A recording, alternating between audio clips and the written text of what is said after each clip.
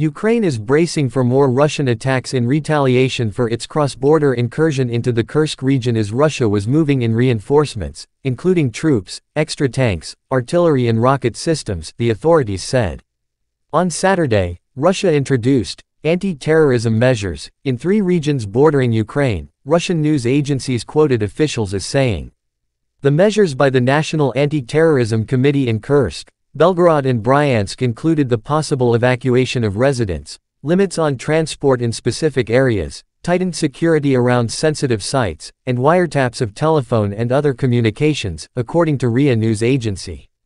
The statement said the decision, taken by Alexander Bortnikov, the head of the Federal Security Service FSB, was in response to Ukraine's unprecedented attempt to destabilize the situation in a series of regions.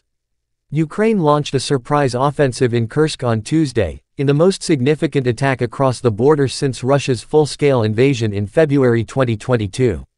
Russia's Ministry of Defense said more troops and munitions were being deployed in the border area near Kursk ahead of a possible counteroffensive, as Ukraine's advance into Kursk appeared to catch Russia off guard.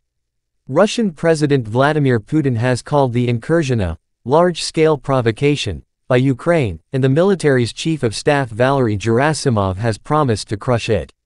Russian authorities had already declared a federal-level state of emergency in Kursk. On Friday, a Russian missile struck a supermarket in the Ukrainian town of Kostyantynivka in the frontline Donetsk region, killing at least 14 people and injuring 43 others, Ukrainian officials said. Russian terrorists hit an ordinary supermarket and a post office. There are people under the rubble, President Volodymyr Zelensky said on X. Kostyantynivka lies about 13 kilometers 8 miles from the active combat line in Ukraine's east.